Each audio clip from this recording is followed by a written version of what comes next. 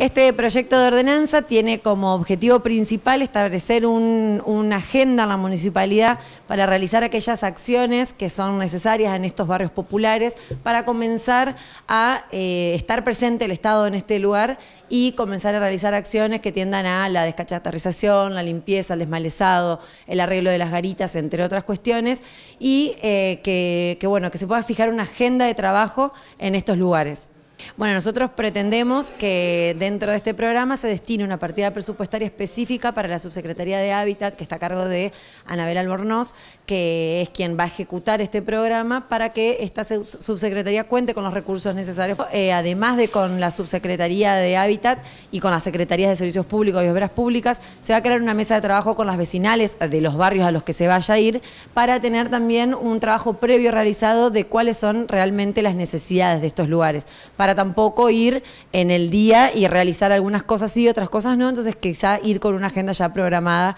sobre el trabajo que haya que realizar.